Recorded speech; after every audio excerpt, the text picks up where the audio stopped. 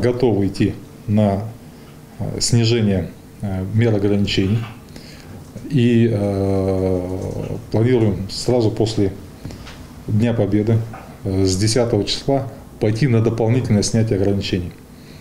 А, ограничений не коснутся, безусловно, массовых мероприятий, они не коснутся там, театров, э, кинотеатров, э, объектов э, общепита. В первую очередь мы пойдем по бытовым услугам, по то, что касается снятия ограничений, по торговле непродовольственными товарами. Это будет и там не только строительные материалы, это одежда, в общем-то, и прочие магазины потихоньку начнем открывать. Мы открываться будем при условии жесткого соблюдения всех санэпидмер.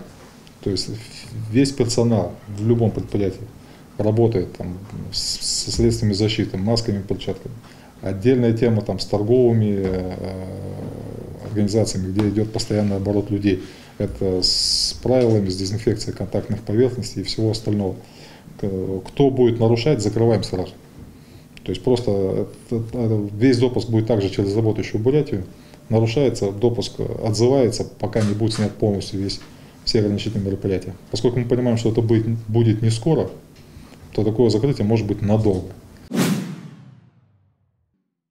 На сессию а, Народного хурала выносятся законопроекты, которые предусматривают представление а, льготы по налогу на имущество – а, в первую очередь это касается объектов недвижимости, которые сдаются в последующем в аренду.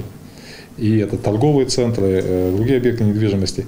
И налог на имущество обнуляется при условии о том, что собственник этого объекта предоставляет льготу по аренде своим арендаторам. То есть это поддержка в первую очередь того малого бизнеса, который арендует уже внутри площади.